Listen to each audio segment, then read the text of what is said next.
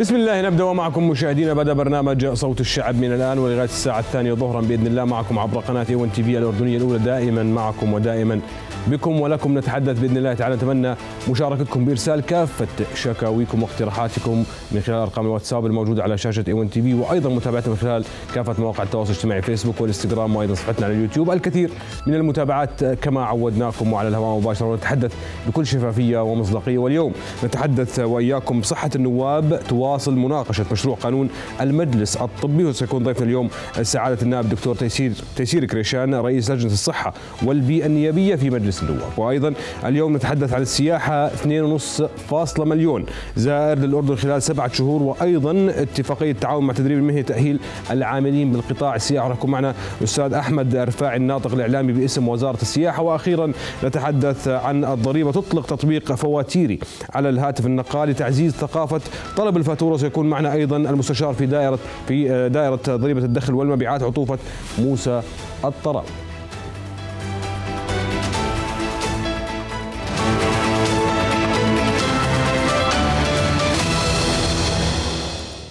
أهلا وسهلا بكم من جديد دائما بصوت الشعب وكما عودناكم نبدأ معكم أولى متابعاتنا لهذا المساء. نتحدث عن صحة النواب. تواصل مناقشة مشروع قانون المجلس الطبي والحديث أكثر أكيد اليوم مع سعادة النائب الدكتور تيسير كريشان رئيس لجنة الصحة والبيئة النيابية في مجلس النواب. دكتور يسعد مساك سيد أهلا وسهلا والله يعطيكم العافية وشكرا للإذاعة الوطنية التي دخلت قلوب الشعب. نعم. يعني شكرا لك وشرفتنا ولكن سيد عزيز يوم أمس كان مناقشة وهناك جلسة حوارية في مجلس النواب والحديث عن مناقشة مشروع قانون المجلس الطبي. سيد عزيز اليوم لماذا تم هذا التغيير وماذا تم في هذه المناقشة سيد؟ يا سيدي قانون المجلس الطبي هو يعني قانون مهم جدا ويستحق الدراسة. وأيضا هنالك مستجدات كثيرة جدا تستوجب التغيير. نعم. التغيير طبعا تغيير وتعديل مواد قانون المجلس الطبي يأتي من الحكومة إلى مجلس النواب. نعم. مجلس النواب يعرض على هذا المجلس ويحول إلى اللجان المختصة. نعم. فتم تحويله إلى لجنة الصحة والبيئة النيابية لدراسته كونه المواد اللي موجوده فيه مواد مهنية خاصة يختص فيها الأطباء ويختص فيها القانونيين.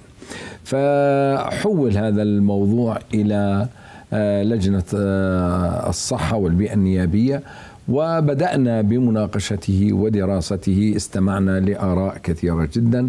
استمعنا لرأي معالي وزير الصحة واستمعنا لرأي أمين عام المجلس, المجلس الطبي, الطبي نعم.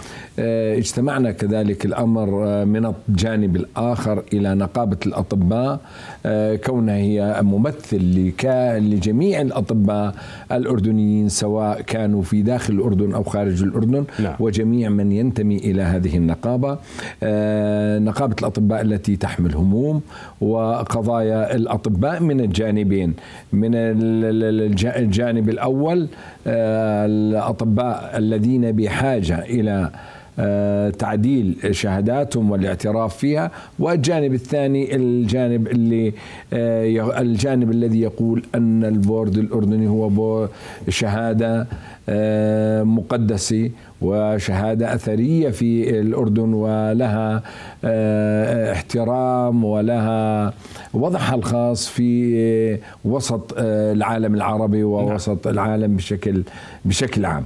البورد الأردني شهاده لها قيمتها يؤخذ بها وتفضل على شهادات كثيرة من شهادات الدول الأخرى فلذلك نجد سوق العمل لأطبائنا الأردنيين في الخليج دول الخارج في, نعم. في دول الخارج مفتوحة لهم ويفضل الطبيب الأردني على غيره نعم. الآن الامتحان البورد الأردني وما شابه من لغط في الآونة الأخيرة أن هنالك تشديد كبير جدا نعم. التشديد له جانبين جانب إيجابي وجانب سلبي يعني في بعض القضايا اللي ظهرت عندنا طبيب دخل مجال تخصصه خمس سنوات أخذ الجزء الأول من الامتحان الخمس سنوات نجح كاملا في جميع السنوات اللي دخل فيها. في نهاية البورد آه، قدم الامتحان الكتابي ونجح وتوفق. قدم الامتحان آه، الامتحان الشفوي أو لوسكي بنقول عنهم. آه، في علامة واحدة رسب نعم لا نعم. يعقل هذا الحكي هذا غير مصدق يعني طبيب المسيرة العملية اللي مشى فيها الخمس سنوات أو الأربع سنوات ونجح في جميع المواد وتم اختباره بجميع المواد. مشان علامة نأخره ونقول له ما بنمنحك البورد. هذا الموضوع يجب إعادة النظر ويجب إزالة الشخصنة من داخل آه، اللجان الفاحصة أو اللجان اللجان التي تجري الامتحانات. نحن ثقة على ثقة عالية بلجاننا على ثقة عالية بامتحاننا لكن هنالك بعض الأمور آه، تتدخل في آه، الامتحان. نأمل يعني مستقبلا أن تكون أن يكون الجميع على درجة واحدة من الحياد نعم. نعم. وأن تراعى الفروق الفردية بين الأطباء واجتيازهم يعني مش معقول أنا بقول لك على علامة واحدة آه، ما نعترف في اختصاص طبيب قعد 15 سنة أو أكثر في حتى حصل على هذا المجال نعم, نعم. يعني ف... دكتور يعني آه، بصراحة نتحدث عن آه، مناقشة مشروع قانون المجلس الطبي لكن اليوم ما هو السبب في هذا الوقت سيتم تغيير هذا هنالك ضرورة ملحة. ضرورة ملحة هنالك أعداد من الأطباء الأردنيين ممن أنهوا اختصاصاتهم. نعم. آه، أنهوا آه، أنهوا جميع المراحل الدراسية والحصول على أعلى شهادات الاختصاص في الطب. ويعملون في دول مختلفة. نعم. لكن يعني أنا بقول لك الآن آه، طبيب صار له 30 سنة في اختصاصه ويعمل في اختصاصه. أي طبيب يعني حتى مهما كان تخصصه ومهما كان على درجة عالية من العلم يعني مو معقول اليوم أنا بعد 30 سنة أقول له تعال مثلا قدم طبيب امتياز هذا بينجح ما بينجح نعم طبعا. نعم صحيح. ليش؟ لأنه الآن اختبروا نطلب اختباره في مجال عمله نعم. في مجال امتحانه آه، هنالك آراء مختلفة رأي يقول أنه يجب أن يعود هذا إحنا كلجنة آه، صحية الآن سنتخذ القرار المناسب والجمع بين آه، جميع الآراء والوصول إلى نقطة واحدة ونعتمد عليها. في بعض الآراء بتقول هذا الشخص طالما إنه في دولة متقدمة ودولة أوروبية أو دولة غير أوروبية ودرس فيها الجامعات وخلص امتحانات وأخذ مزاولة مهنة في الدولة وعمل ثلاث سنوات على الأقل. نعم ثلاث سنوات نعم ممكن يكون عمل خمسة ممكن يكون أكثر لكن على الأقل أن يكون عمل خمس سنوات ثلاث سنوات الدولة اللي خرجته ودرس عندها واثقة بعلمه وواثقة بمهنيته وعمل عندهم. ليش ليش ما يرجع يقدم؟ ليش ما يرجع يقدم؟ ليش ما يقدم امتحان؟ والامتحان بيكون سهل آه، بالنسبة له كونه على على درجة عالية من الكفاءة. في الطرف الآخر والطرف اللي بقول لك لا طالما إنه عمل فالدولة اللي عمل فيها دولة ثقة وعمل ومارس المهني هل في اتفاقيات بين الدول دكتور؟ يعني اللي إحنا اليوم آه، يكون الامتحان بنفس المستوى الموجود بالأردن. نعم في في دول بينها يعني اتفاقيات وامتحانات لكن آه، ما المانع يعني إنه يجي طبيبنا يقدم آه، امتحان البورد في في الأردن؟ مو ما في ما في مشكلة. القضايا الخلافية اللي تحدثت عنها في البداية والقضايا الشخصية سي سيعاد تشكيل اللجان بما يضمن نعم. سلامة الامتحان.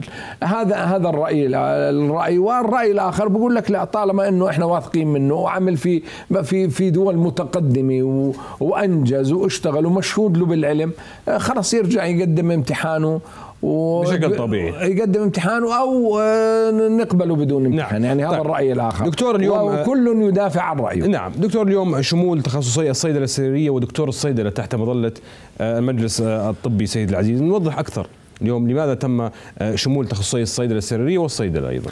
يا سيدي الصيدلة السريرية هي اولا من المهن الطبية وورد في قانون الصحة العامة المهن الطبية المساندة. سواء صيادلي مختبرات آه، آه، أشعة تخدير. لكن الأقرب إلى آه، الطب الأقرب إلى الطب في علاج المريض إحنا بنركز على علاج المريض. الأقرب إلى الطب في علاج المريض هي الصيدلة السريري والدكتور صيدلي الصيدلي السريري الصيدلي السريري هو من يحدد العلاج بجرعته وكميته وتداخلاته. الطبيب بفحص المريض وبشخصه وبكتب له العلاج بيوجه نعم. إلى كتابة العلاج. لكن من يكتب الخطة العلاجية؟ الخطة العلاجية التي يقوم بإعدادها وترتيبها اللي هو آه، الصيدلي الصيدلي السريري. والصيدلي السريري بيرتب العلاج. اولا بحدد جرعة العلاج كمية العلاج. مدة العلاج. ومدة العلاج. الناحية الثانية يحدد تداخلات التداخلات العلاجية مع بعضها. يعني في بعض علاجات إذا بتعطي علاجين آه، بيأثروا على بعضهم بيطلبوا مفعول بعضهم أو نعم. بيسووا انعكاسات آه، انعكاسات ومضاعفات للمريض. فيحددها الطبيب الصيدلي السريري. فلي لذلك تم إضافته إلى آه، المجلس الطبي. الناحية الثانية هذه خطوة إيجابية أنا بعتبرها. بس ماذا سيتغير بعد ذلك؟ آه يعني بعد, بعد ماذا سيتغير؟ الصيدلي السريري الآن سيتقدم إلى الامتحان ويأخذ امتحان ونؤكد يعني زيه زي الطبيب بده يأخذ الامتحان. وهذه خطوة إيجابية في هذا القانون إنه الصيدلي السريري ما بتركه بالمستشفيات يحدد. لا لازم نختبره ولازم نفحصه ولازم يعني يكون يعني ممكن الصيدلي السريري دكتور راح يكون عنده يشخص المرض ويعالج مريض. التشخيص ليست من مهمته. أنا قلت لك يعني في شروط معينة راح تكون تحت التشخيص ليست من مهمته. المهمة التركيز على العلاج أه تحديد جرعة العلاج تحديد كمية العلاج تحديد فترة العلاج أه وكذلك الأمر التداخلات العلاجية اللي اللي بتتم وتجنبها. وهذا مسؤولية كبيرة جدا يعني بالنسبة للإخوان أه والزملاء آه، في آه، أصحاب اختصاص الصيدله السريري. هذه مهمة مش سهلة آه، لازم تكون على قدر عالي من الكفاءة. فلذلك ارتأى القانون الجديد أن يدخل المجلس الطبي ويقدم هل سيكون نفس الامتحان البورد الطبيب العادي؟ نفس الامتحان راح يكون؟ ولا له اسم حسب الاختصاص يعني حتى الأطباء يعني بورد يسمى ال board الأردني بال board الأردني راح يأخذ نعم. الطبيب الدكتور الصيدلي امتحان ال board الأردني الخاص بالصيدلي الخاص بالصيدلي الخاص نعم. بالصيدلي وفي نعم. هذا آه، مجال اختصاص يعني نعم. سعادتك إحنا دائما آه، بلد بنحب التغيير وبنحب دائما التطوير والتحديث في كافة المجالات لكن اليوم آه، سؤالنا لأي مؤسسة لأي جهة معينة يتم فيها التحديث اليوم بيهمنا اليوم المواطن شو راح يلمس من هذا التحديث أو التغيير نعم. يعني المواطن اليوم شو راح يحس بهذا التغيير؟ يا سيدي المواطن راح يلمس في التغيير. إحنا لاحظنا في الآونة الأخيرة يا أخي آه، ما يعني لاحظنا في مجتمعنا ظهور بعض الأخطاء الطبية القاتلة حتى اللي أنا بسميها للأسف قاتلة. للأسف. للأسف حصلت.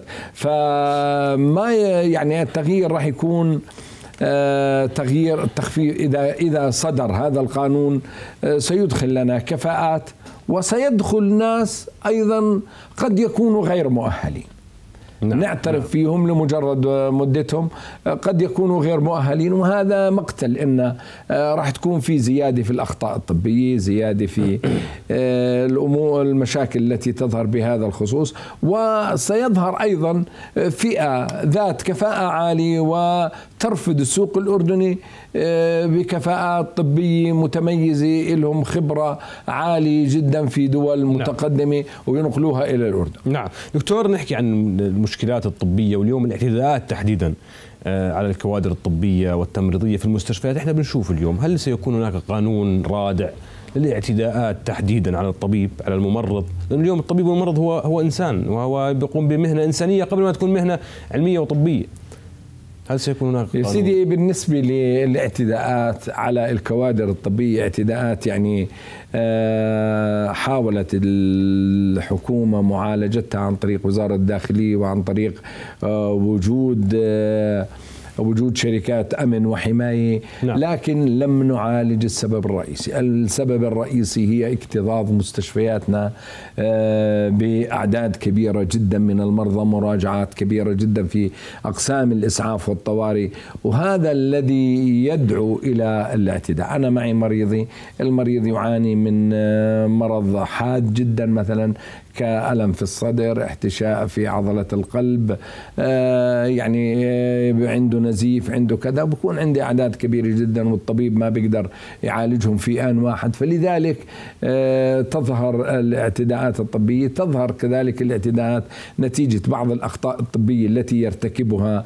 آه، ترتكبها الكوادر الفنية اللي موجودة في المستشفيات. فلذلك آه، الاعتداءات لابد من وضع قانون وروادع يعني بالنسبة سواء كانت كوادر طبية أو كوادر وظيفية أخرى. وتشددت القوانين وقانون العقوبات آه، على آه، على الاعتداء على الموظف أثناء آه، قيامه بواجبه الرسمي في عقوبات مشددة إلا إذا تهاون الشخص المعتدى عليه وأسقط نعم حقه. نعم, نعم. نعم. فهذا الموضوع مدروس والحكومة لم تغفل عنه. لكن أنا نطلب انه يكون معالجه جذريه لهذه المشكلة خاصة في مستشفياتنا مستشفيات وأقسام الإسعاف والطوارئ.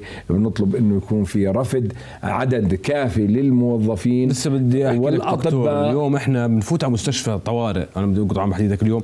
بنلاقي طبيب واحد بيعالج كل المرضى بقسم الطوارئ. اليوم آه، في حالات طارئة وهذا الطبيب اليوم ممكن آه، دائما اللي بيسعف الشخص بيكون عنده شوية هلع. فممكن آه، بصير في اعتداء على الطبيب. اليوم تعيين الأطباء تعيين الممرضين في المستشفيات. المستشفيات اليوم أيضا الطبيب ما بيلحق على هذا العدد الكبير من المرضى. نعم. أه وأين الخلل بتعيين الأطباء؟ أه وأين ديوان الخدمه عن المستشفيات أه أيضا عدد المستشفيات هل هو كاف؟ سيدي بالنسبة لعمان مستشفى البشير ومستشفى الأمير حمزة يعني مستشفى حكومي واحد في داخل آه، آه، العاصمة اللي أعدادها بالملايين. خمسة مليون. خمسة مليون. هذا أنا أرى أنه غير كافي. يجب آه، يجب استحداث وإنشاء أقسام للإسعاف الطوارئ الأخرى.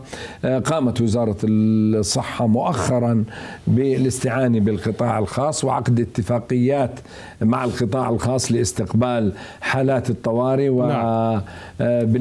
المبرمة على أن يدفع 20% من قيمة المعالجات لغاية 70 دينار.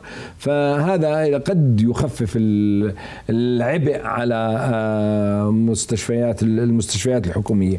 لكن في واقع الحال عندنا نقص في أعداد الأطباء في عندنا نقص في أعداد التمريض وخاصة في أقسام الإسعاف الطوارئ. يجب أن يعوض يجب أن أن يعني إضافة أعداد أكبر من الأطباء والتمريض. لل في التشكيلات اللي موجودة عام لعام 2022 و2023 طبعا راح ندرسها مستقبلا.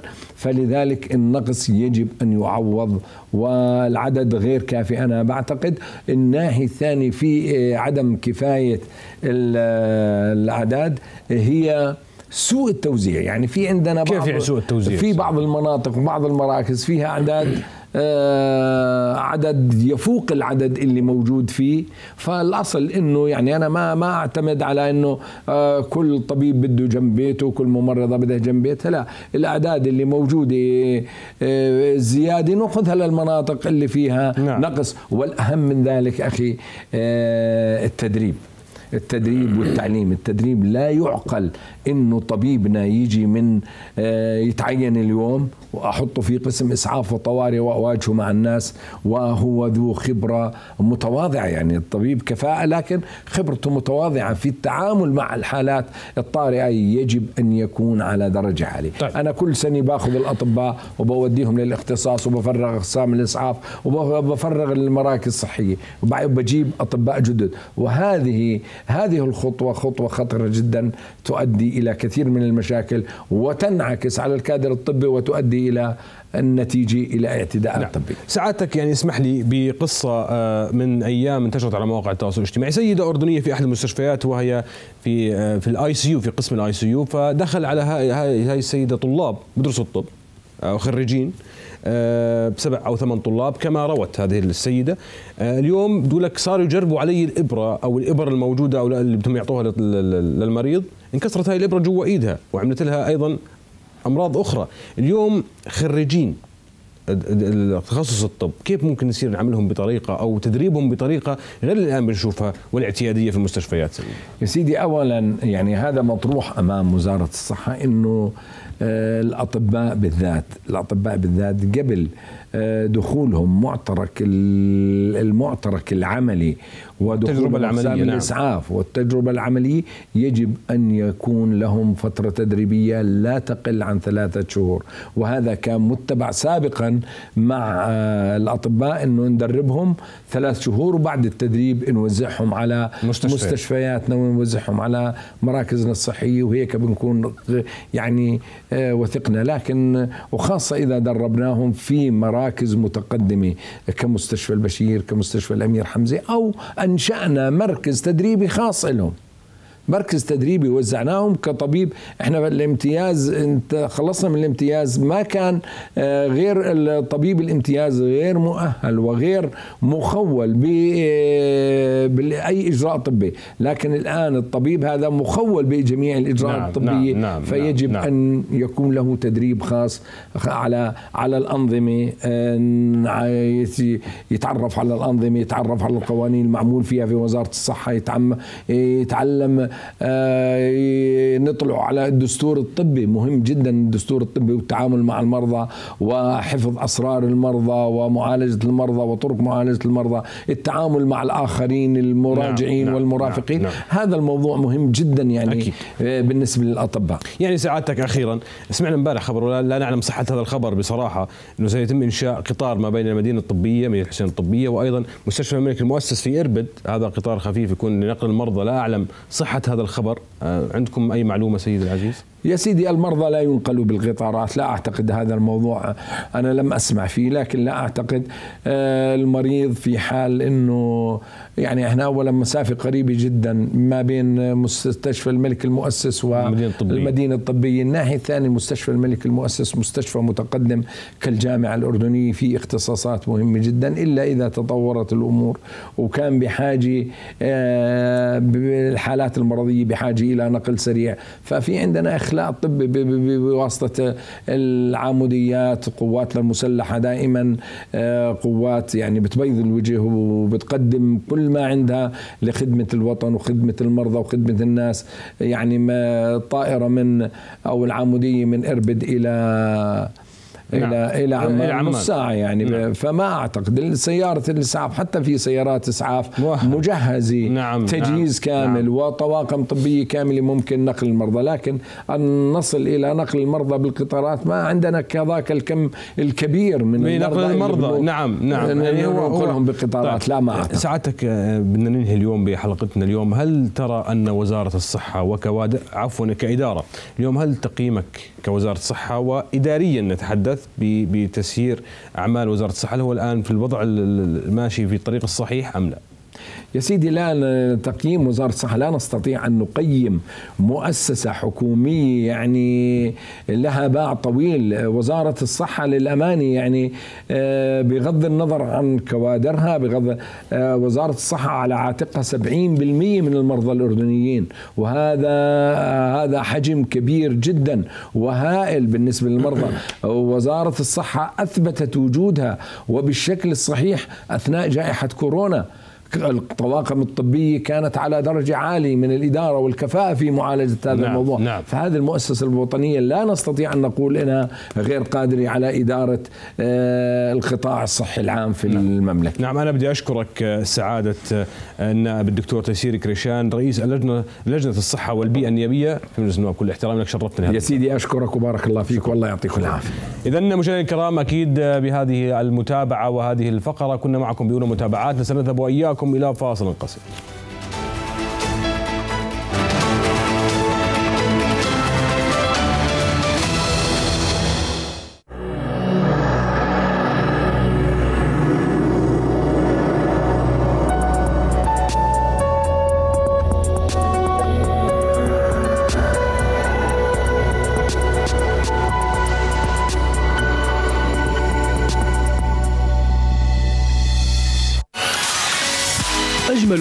السياحة في تركيا. تلقب بلؤلؤة البحر الأسود. جمال خلاب وطبيعة ساحرة.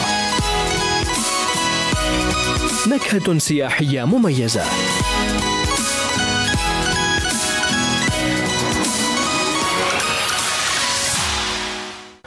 احجز معنا 037 066 013 أو على الرقم 037 066 017 التداول بده ثقة وخبرة. شركة أدميرالز خبرة 21 سنة في مجال التداول بالعقود مقابل الفروقات للعملات والذهب والنفط وغيرها مرخصة من هيئة الأوراق المالية في الأردن. ليش تتداول مع أدميرالز الأردن؟ فروقات سعرية منافسة. إيداع وسحب سريع. ندوات تعليمية مجانية. أدميرالز طريقك للتداول. أو زورونا في عمان أم أذينة شارع إريتريا. مجمع تايم سنتر الطابق الرابع. للاستفسار اتصل بنا على الرقم 06 400 9 100 التداول ينطوي على مخاطر عالية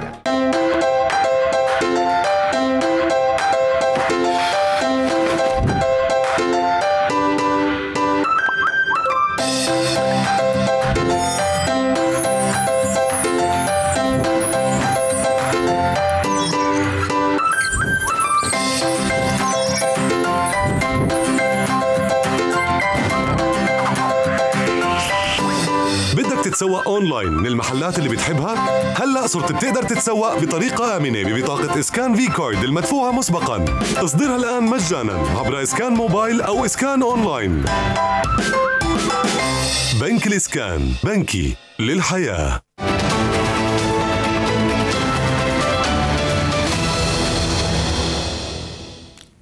وسهلا بكم من جديد دائما بصوت الشعب. أكيد آه، آه، مستمرين معكم بالمتابعات هذا المساء. وأيضا ثاني متابعات نتحدث عن القطاع السياحي. 2.5 مليون زائر للأردن خلال سبع شهور آه، الأولى. وأيضا اتفاقية تعاون مع تدريب المهني لتأهيل العاملين في قطاع السياحي وأبناء المجتمعات المحلية. معي على الهاتف الآن الأستاذ أحمد الرفاعي ناطق الإعلام باسم وزارة السياحة. يسعد مساك أخوي أحمد. يا مساء الخيرات أخي رعد ولكافه المستمعين والمشاهدين. ومساءكم سعيد إن شاء الله. الله يعطيكم العافية سيدي العزيز. آه، بداية نتحدث وياك أخونا أحمد آه، عن هذا الرقم آه، 2.5 مليون زائر آه، للمملكة الأردنية الهاشمية للقطاع السياحي اليوم. آه، هذا رقم جيد آه، بالنسبة للسنوات الماضية. آه، ماذا تتحدث عن هذا الرقم سيدي العزيز؟ بالتأكيد أخي رعد كما تعلم بأن ال- الوزارة أطلقت استراتيجية نعم. الوطنية للسياحة ومن خلال هذه الاستراتيجية استهدفنا أرقام متوقعة لكل شهر آه، من أعداد السياح. اليوم إذا بنراجع هذه الأرقام آه، نجد بأن بفضل الله هذه الأرقام التي حققها القطاع نعم. السياحي تجاوز الأرقام المستهدفة حيث كان الأرقام المستهدفة أن مليون و800 ألف سائح. نعم. اليوم عدد السياح وصل إلى 2 مليون ونصف سائح خلال السبع نعم أشهر نعم الأولى. نعم نعم. آه، هناك مجموعة من العوامل ساهمت ب- بزيادة هذه الأعداد. آه، منها أول شيء الإجراءات الاحترافية التي اتخذتها الحكومة بالتعامل مع جائحة كورونا. وهذا عزز ثقة المسافر في المملكة الأردنية الهاشمية وبالوجهات السياحية عنا نعم. إضافة إلى ال- ال- التسويق وتكثيف التسويق واستهداف أسواق جديدة والأهم من هذا كله سيدي بأنه ال- ال- ال- الأردن هي بيئة سياحية جاذبة وآمنة جميع السياح يسعون إلى ال- ال- ال- القدوم إلى الأردن بما تتميز به من خصائص تلبي كافة احتياجات السائح. نعم. آه، يعني أستاذ أحمد اليوم أيضا نتحاول نتح- نتحدث إحنا وياك عن اتفاقية التعاون آه، الذي رعاها وزير العمل والسياحة في مع مؤسسة التدريب المهني لتأهيل آه، العاملين في القطاع السياحي وأبناء المجتمعات المحلية أيضا سيدي العزيز. نعم أخي رعد. كمان أرجع أعود إلى الاستراتيجية الوطنية، من خلال الاستراتيجية الوطنية نحن نستهدف احتياجات السوق ومعرفة ما نحن بحاجة إليه، اليوم القطاع السياحي يشهد نهضة ويشهد حركة كبيرة، أدركت وزارة السياحة والآثار لابد من تعزيز سوق العمل وبتدريب مهارة آه، بمهارات عالية وموظفين لديهم الكفاءة في في هذه آه، المهارات من مهارات التقديم من مهارات التعامل الفندقي من مهارات نعم. كافة أنواع الخدمات المطلوبة للقطاع السياحي. آه، ادراكا من وزارة السياحة لأهمية هذا القطاع. وادراكا لرفض السوق بأيادي عاملة مدربة وماهرة تلبي احتياجات السائح أدركت الوزارة بأن لابد من تسليط الضوء على هذا الجانب وعقدت اتفاقية مع وزارة ال- العمل وممثلة بمؤسسة آه، التدريب المهني لكافة المحافظات. اليوم إذا إحنا بدنا نحكي بس أن العاصمة لا آه، عندنا كافة المحافظات لأنه القطاع السياحي متنوع ومتشعب وبدل ما هو يتغلب ويجي على العاصمة عمان إحنا رحنا له لتقديم هذه الخدمات ولتمكينه ولتمكين التجارب السياحية اللي موجوده أصلا في هذه المحافظات. نعم أستاذ أحمد أكيد دائما نتحدث عن القطاع السياحي وبجوز هو انظلم في فترة جائحة كورونا وكان هناك ركود في الجانب السياحي، اليوم نتحدث عن تفعيل برنامج أردننا جنة وأيضا ماذا ماذا استفادت أيضا أبناء المجتمعات المحلية في كافة المناطق السياحية سيدي العزيز. سيدي كما تعلم برنامج أردن جنة عندما تم إطلاقه هو إطلاقه من وزارة السياحة وهيئة تنشيط السياحة بدعم آه، حكومي ما يقارب أكثر من 50% من تكلفة الرحلة. كان الهدف بالبرنامج نعم. ما قبل الجائحة هو تمكين آه، المجتمعات المحلية وتسليط الضوء على تجارب سياحية جديدة ومواقع سياحية لا تشهد حركة كبيرة آه، في في في طبيعة الحال. نعم. أثناء جائحة كورونا تم تعديل المسار لما يتناسب مع الوضع الراهن ووضع ظروف الجائحة. يعني كان القطاع السياحي كله متوقف بهذيك الفترة وكان لابد من دور وزارة السياحة في في آه، آه، تحويل مسار هذا البرنامج لدعم المنشآت السياحية. فأشرك القطاع السياحي في البرنامج والوجهات الرئيسية أدخلناها آه، للاستدامة والمحافظة على الأيدي العاملة وللتخفيف من الأعباء المالية التي تكبدها القطاع السياحي. اليوم إذا بنحكي عن البرنامج وصل عدد مشاركينه 145 ألف تقريبا من بداية السنة إلى اليوم. هذا نجاح ملموس وملحوظ من قبل الجميع بفضل الله. جميع الوجهات السياحية موجودة لنا داخل البرنامج. جميع القطاعات السياحية أيضا هي مشاركة فيه. اليوم ما بنحكي بس عن وزارة السياحة لا. نحكي عن الفنادق بنحكي عن المطاعم بنحكي كافة الوجهات السياحية مشاركة معنا والأدلاء السياح والنقل السياحي. نعم. يعني أستاذ أحمد أنا بدي أشكرك واشكر هذه المداخلة والحديث عن القطاع السياحي ودائما إحنا بصراحة يعني الأردن بلد السياحة ويوجد فيها المواقع السياحية التاريخية والدينية والأثرية وأيضا ولكن اسمح لي أخيرا نتحدث عن السياحة الدينية. أستاذ أحمد أيضا كانت في أرقام مبشرة وارتفاع بهذه الأرقام بخصوص السياحة الدينية في المملكة الأردنية سيدي. نعم آه، أخي رعد اليوم إحنا لما نشتغل آه، السياحه الدينيه إحنا بنحكي كمان بشقيها الإسلامي والمسيحي نعم. آه، هيئة تنشيط السياحة مع زملائنا في القطاع الخاص استهدفوا وجهات جديدة للسياحة الدينية ومنها السياحة النيجيرية لتأدية الحج المسيحي في الأردن وبفضل الله شهدنا أعداد ونشهد في الأيام القادمة إن شاء الله أعداد متزايدة إن شاء الله. الترويج واستقطاب الوجهات موجود نحن نعمل بشقين شق التسويق التسويق وشق التطوير البنية التحتية وذلك لتقديم خدمات مثلى وفضلة للسائح والزائر بشكل عام نعم. وإذا ما تحدثنا عن المقامات الإسلامية كذلك نحن نعمل على ترويج هذه المقامات بالتعاون مع وزارة الأوقاف والجهات المعنية إضافة إلى إشراك برنامج أردن جنة وتسليط الأضواء على هذه المقامات ليتمكن المواطن الأردني من زيارتها وفق برنامج منظم آه، آه، ويلبي الطموح ويتعرف على هذه المقامات التي نعتز ونفتخر فيها. نعم. يعني آه هو برنامج اردننا جنة أكيد آه هو رافد سياحي واليوم بيزيد من اقتصادنا. أخوي أحمد آه الخطط القادمة والمستقبلية بخصوص برنامج اردننا جنة سيد العزيز واستمرارية هذا البرنامج. آه أخيرا تفضل. نعم. البرنامج كما تعلم أخي لم ينقطع منذ السنة الماضية. هو من برنامج منذ سنوات وتم تعديله وتطويره. هذا البرنامج ليصبح الآن اردننا جنة. آه البرنامج لم ينقطع السنة الماضية ومستمر وإن شاء الله سوف يبقى مستمر السنوات القادمة البرنامج سيعود في, المت... في أو بدأ ليعود في تسليط الضوء على على الهدف الرئيسي الذي أنشئ منه البرنامج وهو تنمية المجتمعات المحلية تسليط الضوء على تجارب سياحية جديدة نعم. آه، تسليط الضوء على مواقع سياحية أيضا آه، جديدة فاليوم نحن نبدأ بالعودة التدريجية إلى الهدف الرئيسي يعني على سبيل المثال أم جمال تم إدخالها في البرنامج آه، منذ شهر ونصف آه، وهذه من المناطق التي تحتاج إلى دعم وتمكين للمجتمعات المحلية وصل عدد آه، الزوار لهذه المنطقة أكثر من 9000 مشارك لها. نعم أنا بدي أشكرك أخوي أحمد الرفاعي الناطق الإعلامي باسم وزارة السياحة والأثار كل احترام لك ويعطيكم ألف عافية سيدي شكرا. كل الشكر وحياكم الله. إذا مشاهدينا الكرام كنا معكم بهذه المتابعة والحديث عن الجانب السياحي. وأخيرا سنتحدث وإياكم عن الضريبة تطلق تطبيق فواتيري على الهاتف النقال لتعزيز ثقافة طلب الفاتورة. يعني إحنا تحدثنا من من من أشهر قليلة عن هذا البرنامج وعن هذا التطبيق. للحديث أكثر الآن سيكون معي المستشار في دائرة ضريبة الدخل والمبيعات أخونا وعطوفة موسى الطراوي يسعد مساك سيد يسعد مساك يا هلا الله يسلمك. يعطيكم العافية. أهلا وسهلا. سيدي العزيز نتحدث اليوم عن تطبيق فواتيري. هذا اليوم يعزز من ثقافة طلب الفاتورة عند إخواننا المواطنين. بالبداية نتحدث أكثر عن هذا التطبيق سيد. شكرا شكرا لك. آه، بتعرف دائرة ضريبه الدخل من منطلق آه، يعني آه، الإجراءات اللي بتقوم فيها للإصلاحات الضريبية. نعم. كان أطلقت يوم أمس تطبيق فواتيري على الهواتف الذكية.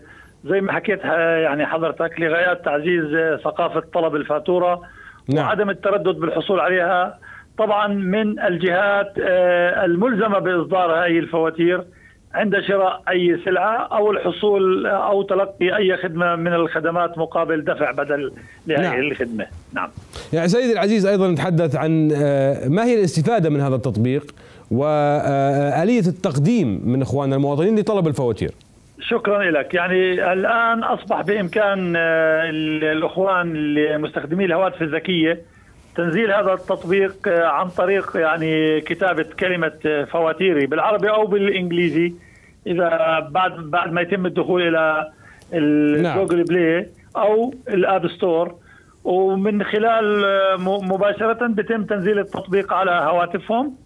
ولغايات يكون لهم حساب يعني مع الدائرة ويستطيعوا تصوير الفواتير وإرسالها بقوم كل أخ من الإخوان فقط ب تدوين رقمه الوطني وتاريخ ميلاده وهيك بيكون بتكتمل عملية التسجيل وبعد وبعد ذلك يعني آه، بيستطيعوا إنه أي فاتورة بيحصلوا نعم. عليها آه، تنزيلها مباشرة وإرسالها طبعا نعم. فاتورة يعني... فاتورة كل ما زاد عدد الفواتير اللي بيتم تنزيلها على التطبيق كل ما زادت الفرصة للإخوان بأنهم بالحصول على الجوائز اللي راح آه، توفرها الدائرة. آه، طبعا يعني هذا تشجيع أستاذ موسى للمواطن انه يطلب الفاتورة من هذا التطبيق صح؟ نعم نعم. أي فاتورة بيحصل عليها بيقدر يصورها. مباشرة من خلال هذا التطبيق وإرسالها إلى دائرة ضريبة الدخل والمبيعات. نعم، أستاذ موسى اسمح لي أيضا. اليوم آه، نعلم أنه في بعض بعض البعض طبعا يمكن ما يقدر يستخدم هذا التطبيق أو آه، صعوبة التعامل مع هذه التطبيقات أيضا. آه، آلية تعلم بعض الأشخاص واللي حابب يتعلم على هذا التطبيق وآلية التقديم.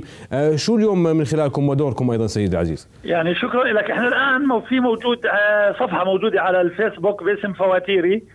في هناك يعني فيديوهات إرشادية وتعليمية حول كيفية تنزيل التطبيق مع إنه هي يعني عملية سهلة نعم. يعني إذا بدخل على متجر ال Google Play أو ال App Store ويكتب كلمة فواتيري رأسا راح يعني يكون التطبيق موجود وتنزيله بكون آه، عملية سهلة آه، من من الاخوان اللي اللي معهم هواتف آه، ذكية يعني وزي ما حكيت الآن اللي اللي براجع أو بيشتري من أي تاجر من أي بائع آه، سلع وبدفع ثمنها بنزل الفاتورة اذا أو اذا واللي بتلقى أي خدمة سواء من نعم المهنيين نعم. الحرفيين مؤدي الخدمات دفع بدل لهي الخدمة أيضا باخذ الفاتورة وبقوم بتنزيلها في حال إنه أي أخ من الإخوان ما يعني رفض يعطي الفاتورة في أيضا متاح على هذا التطبيق إنه يتم الإعلام إعلامنا عن أي عن أي شخص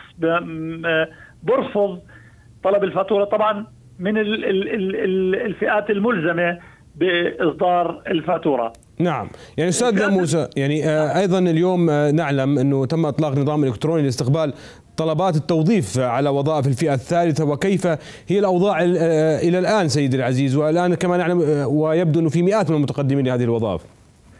يعني بتعرف هاي بتعرف في هناك يعني هاي المنصات اللي هي هاي متاحة من خلال آه، يعني وزارة الاقتصاد الرقمي وديوان الخدمة المدنية. في هناك يعني حتى اللي بده يقدم طلبات بيقدم من خلالها. بينما إحنا بالنسبة لنا التطبيق تطبيق فواتيري يعني حبيت أوضح للإخوان المشاهدين إنه من هي الفئات الملزمة بإصدار الفاتورة ومن هي الفئات غير الملزمة بإصدارها نعم نعم الفئات نعم. الفئات الملزمة طبعا هم اللي البائعي السلع مبيعاتهم بالسنة عن 75 ألف دينار وأيضا مؤدي الخدمات والمهنيين والحرفيين اللي بتزيد إيراداتهم آه، سنوية عن 30 ألف دينار نعم. ملزمين بالتسجيل وملزمين بإصدار الفاتورة وإعطاء الفاتورة لكل من يطلبها. نعم. بينما يعني تفضل تفضل سيد. لا بينما استثنى النظام نظام الفوترة آه، فئات من إصدار الفاتورة يعني وهي حتى حتى نكون واضحين مع الإخوان المشاهدين اللي هي المنشآت والأعمال المرخصة اللي بتقل مبيعاتها السنوية عن 75 ألف دينار مثل البقالات محلات السوبر ماركت الدكان الميني ماركت المكتبات القرطاسية محلات بيع الخضار والفواكه بيع الأدوات المنزلية المطاعم نعم الشعبية نعم نعم يعني مثل هاي وأيضا الحرفيين والمهنيين اللي أكيد. آه إيراداتهم خلال السنة أقل من 30 يا- ألف دينار يعني أستاذ موسى إحنا مغلبينك وسريعا إذا لا، سمحت لي. وسهلا يا سيدي. آه بدي أطمن على أخواننا المشاهير يعني شو صار فيهم لوين يا وصلوا سيدي شكرا بخصوص شكراً الضريبه لك. يعني. يعني بالنسبة للإخوان النشطاء بالسوشيال ميديا يعني الدائرة يعني لم تأتي ب- بشيء جديد لأنهم هم آه، سابقا خاضعين وفي منهم من يقوم بالمراجعة والإعلان عن دخله ال- الواقعي والصحيح والحقيقي. آه، بتعرف الضريبة واجب وطني والتزام قانوني. نعم. فإحنا يعني في دائرة ضريبة الدخل بعد مراجعة عدد منهم طوعيا والإعلان عن دخولهم وتقديم الإقرارات رأينا أن يكون في هناك إرشاد وتوجيه وتوعية للي ما راجعوا. فوجهت الدائرة لهم لمراجعة الدائرة وتقديم الإقرارات وخصصت فريق مختص في مديرية الالتزام لمساعدتهم على نعم. كيفية آه، تعبئة الإقرار وتسليم الإقرار والإعلان عن دخولهم آه، الواقعية والصحيحة يعني حتى يعني بتعرف إحنا بن يعني يعني في دائرة ضريبه الدخل بنحب انه يكون الإخوان المكلفين كافة ما يتعرضوا لأي غرامات أو إضافات أو أي نعم. مخالفات نعم فكان هذا الد- الدعوة من الدائرة للمراجعة ومساعدتهم من خلال الموظفين اللي تم تخصيصهم لهذه الغاية. نعم بدي أشكرك الأستاذ موسى الطراونة المستشار الضريبي في دائرة ضريبة الدخل والمبيعات كل الاحترام لك ويعطيكم ألف عافية شكرا لك يا هلا أهلين. إذا مشاهدينا الكرام أكيد كنا معكم وهذه المتابعات يعني زي ما سمعنا بالمستشار الضريبي في في دائرة ضريبة الدخل والمبيعات أخونا موسى الطراونة يعني حكى عن إخواننا المؤثرين على مواقع التواصل الاجتماعي وآلية التسجيل ودفع الضريبة في مبالغ معينة يعني قانون معين وهذا شيء آخر. ولكن اسمحوا لي في نهاية برنامج صوت الشعب نتحدث. عن القطاع الصحي تحديدا. اليوم كان في بداية فقراتنا تحدثنا مع الدكتور آه، وسعادة آه، النائب آه، الدكتور الكريشان والحديث عن موضوع اللجنة الطبية الصحية والبيئة في مجلس النواب. لكن للأسف اليوم سألت سعادته سؤال أنه إحنا اليوم هل ترى ال- التقييم وزارة الصحة إداريا ممثلة بوزيرها ممثلة بأمينها العام؟ هل هي قادرة على آه، آه، تسيير الأمور في وزارة الصحة. لا يعني الجواب أنه إن هي مؤسسة حكومية. نعم نحن نحترم ونحن دولة مؤسسات وقانون لكن وزارة الصحة اليوم بصراحة ومعالي وزير الصحة تحديدا للأسف غير متعاون أبدا مع الجهات الإعلامية تحديدا. للأسف حاولنا نطلب معالي وزير الصحة كرا- تكرارا آه، من خلال برنامجنا من خلال اتصال هاتفي أو آه، استضافة لكن للأسف ما بجاوبنا معالي يبدو أنه مشغول بجلسات ويبدو أنه باجتماعات أيضا لكن للأسف وزارة الصحة من أخطاء طبية ومن تقصير في خدمة المواطن ومعالجة المواطن، اليوم بنروح على أحد المستشفيات لوزارة الصحة منها مستشفيات البشير، منها مستشفى الأمير حمزة، منها أيضا مستشفى الملك المؤسس، منها مستشفى الاميره، هي الكثير من المستشفيات التابعة لوزارة الصحة. نعلم اليوم الخدمة المقدمة للمريض والمريض كما نعلم بسموها الغريق يتعلق بقشة.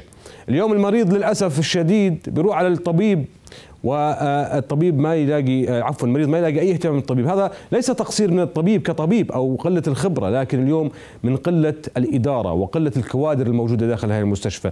اليوم كثير فقدنا آه، حالات وأشخاص ماتوا بأسباب وأخطاء طبية. من المسؤول؟ قضاء وقدر. نعم نحن دائما أكيد موجود القضاء والقدر ولكن اليوم في مسببات منها اليوم الاستهتار بروح المريض. الإبر الخاطئه أو العلاجات الخاطئة اللي تعطى للمريض مين المسؤول؟ وزارة الصحة. بعيدا عن موضوع الأدوية اللي مش موجودة في بعض المستشفيات. الأدوية مثل أدوية القلب السكري الضغط الأدوية الشهرية. اليوم الكثير وصلت شكاوي لبرنامج صوت الشعب. لا يوجد علاجات في بعض المستشفيات في وزارة الصحة ولكن للأسف الشديد لا جواب من معالي وزير الصحة ولا الناطق الإعلامي بوزارة الصحة. على ما يبدو مش حابين يردوا علينا كإعلام أو أنا كشخصيا برنامج صوت الشعب وفريق البرنامج. للأسف معالي وزير الصحة الأكرم واللي أحسن مني تحديدا اليوم اللي بدنا نقوله هذه وزارة الصحة تخدم المملكة الأردنية الهاشمية لا تخدم فئة معينة كباقي مؤسسات الدولة. إذا اليوم يجب على وزارة الصحة إعادة التفكير وإعادة النظر بالبروتوكول الصحي لكل مريض. اليوم إعادة إعادة النظر بكيفية تقييم مرض هذا المريض. للأسف الشديد ليش اليوم ليش اليوم الواحد بيدفع مصاري ويروح على مستشفيات خاصة أيضا ربحية وتستغل المواطن؟ مين المسؤول؟ وزارة الصحة لأنه أنا مش لاقي خدمة بوزارة الصحة.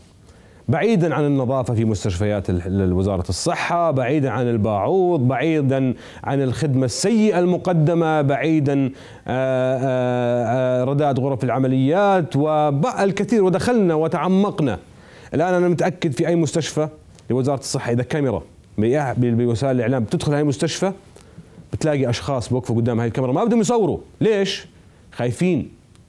ما في ثقة تامة بالعمل اللي بيقوموا فيه بوزارة الصحة.